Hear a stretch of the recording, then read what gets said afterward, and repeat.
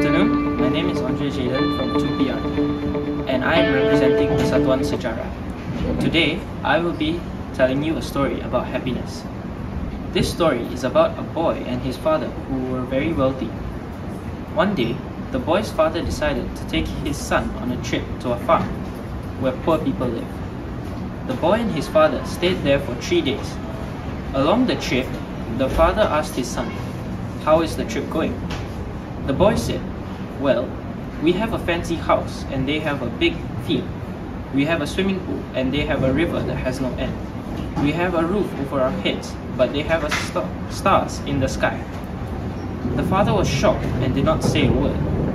Then the boy added, Thank you, Dad, for showing me how poor we are. They are happy with what they have, even though it's not much. Thank you. That's all from me.